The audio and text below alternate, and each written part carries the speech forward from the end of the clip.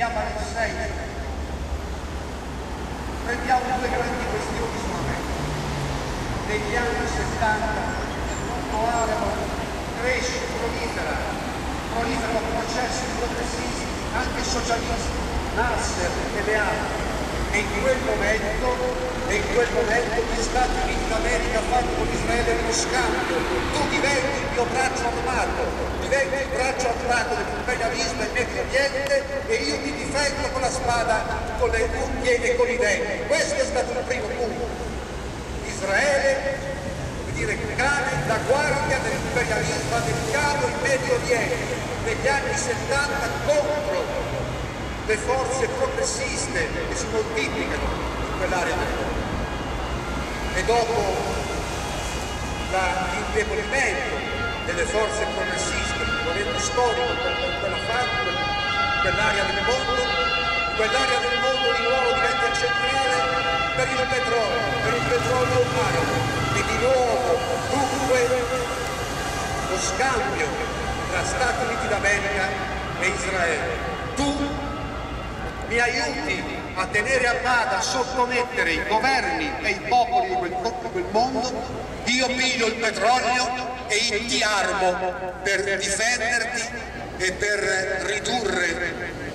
l'obiettivo di ridurre a nulla, di azzerare attraverso gli stermini il popolo palestinese.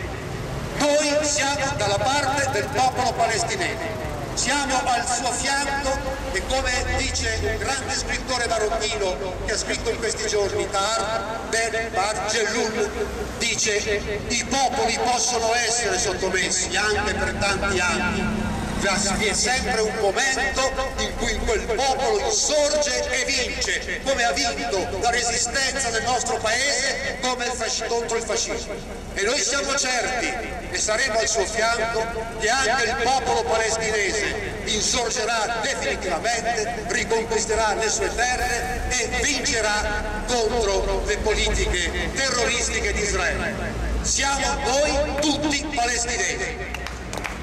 E poiché siamo palestinesi, siamo comunisti di sinistra e internazionalisti, fatemi, concedetemi, proprio da internazionalisti, poiché stiamo a fianco del popolo palestinese e degli altri popoli che lottano contro l'imperialismo e soffrono, fatemi spendere le ultime due parole a favore del Partito Comunista Ucraino che in questo momento combatte contro il governo di carattere nazifascista di Kiev e in questi giorni sta per essere messo al bando. Siamo al fianco del popolo palestinese, siamo al fianco dei compagni del Partito Comunista Ucraino, siamo contro l'imperialismo e per la costruzione della pace.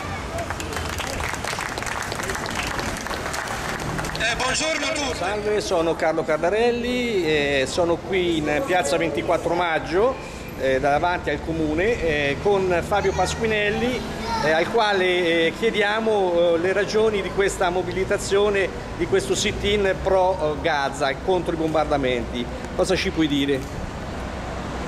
Siamo, siamo in piazza questa mattina per eh, informare la cittadinanza di quello che sta accadendo in Medio Oriente e per denunciare quello che sta accadendo in Medio Oriente e quello che sta accadendo in Europa e in Italia in eh, riguardo a, questi, a queste vicende internazionali. In Medio Oriente sta accadendo una cosa gravissima, ovvero lo Stato di Israele, che è uno Stato occupante illegittimo dei territori palestinesi, che è uno Stato che sotto l'egida dell'ideologia sionista, che è un appendice delle ideologie fasciste del Novecento, applica una strategia di genocidio nei confronti dei palestinesi e di apartheid nei confronti degli arabi. Infatti i cittadini arabi di Israele sono limitati nei loro diritti, addirittura non hanno la possibilità di svolgere le stesse professioni dei cittadini ebrei e questa è grave, un grave apartheid, una grave discriminazione che va avanti nei confronti di uno Stato che non è democratico, come vogliono far credere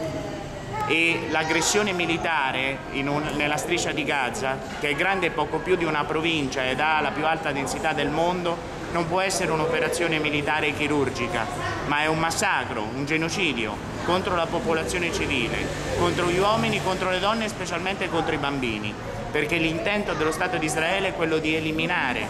i palestinesi e gli arabi a partire dai bambini, a partire cioè dal futuro di quel popolo, che resiste eroicamente e che dà una speranza a tutti i popoli oppressi del mondo. Per questo noi sosteniamo la loro lotta e non cadiamo nella trappola di un'informazione drogata che vorrebbe far sembrare terrorista il lancio di razzi di Hamas, che invece è una eh, legittima misura di resistenza di uno Stato contro uno Stato occupante, quindi non è un atto di terrorismo, che peraltro ha fatto tre vittime civili tra gli israeliani,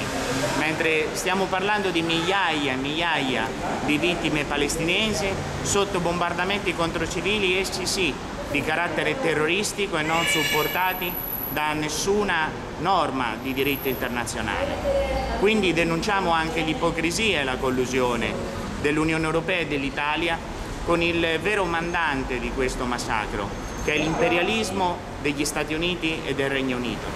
In questo senso noi crediamo che sia molto grave che l'Unione Europea non abbia un'autonoma politica estera e che sia molto grave che il governo italiano, per tradizione, l'Italia è stata per anni, per decenni, un paese filo-palestinese, oggi non abbia più una sua indipendenza, una sua autonomia, ma porti avanti una politica estera del tutto eh, subordinata e sottomessa agli interessi dell'imperialismo americano.